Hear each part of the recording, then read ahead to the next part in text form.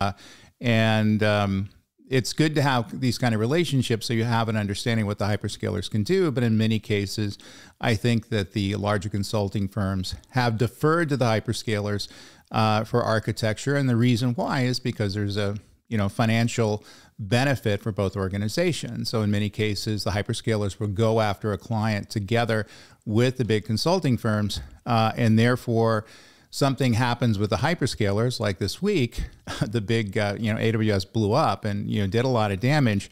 Uh, you're normally not going to hear from them uh, because of that relationship, which is a little bothersome to me because at the end of the day, they're the ones who should be your trusted advisors. They're the ones who really kind of need to lead thought in the space and understand the directions. And uh, they didn't step up and do that, which is hugely disappointing to me, but not unexpected. So, what did we learn from this event? Besides, uh, I was I was right. That Linthicum was right, and uh, uh, it's very expensive when these outages occur.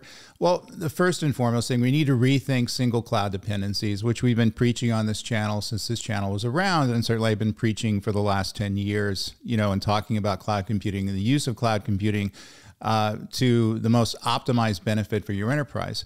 So enterprises must reconsider the heavy reliance on single hyperscalers like AWS. The outage, I think, was a wake-up call.